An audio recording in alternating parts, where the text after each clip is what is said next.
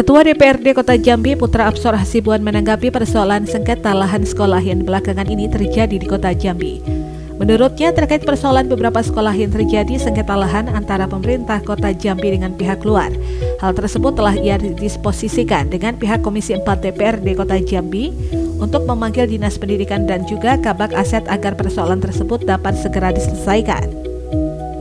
Dirinya mengatakan pihak DPRD Kota Jambi meminta pihak aset untuk menginventariskan persoalan sertifikat lahan maupun aset lainnya yang merupakan milik pemerintah Kota Jambi dengan tujuan meminimalisir konflik yang terjadi.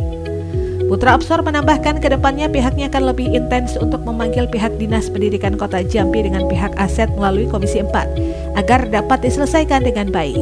Beberapa permasalahan-permasalahan terkait sengketa lahan uh, pemerintah kota dengan pihak luar yang mengaku bahwa itu lahan mereka.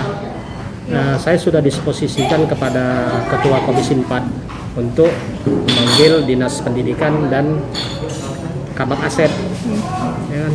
supaya cepat diselesaikan. Makanya kita meminta baik dari DPR semuanya diinventarisasi aset-aset kota Jambi ini mana yang belum bersertifikat mana yang sudah supaya kita cepat menyelesaikannya. Jangan sampai nanti ketika sudah lama kita dudukin terjadi lagi konflik.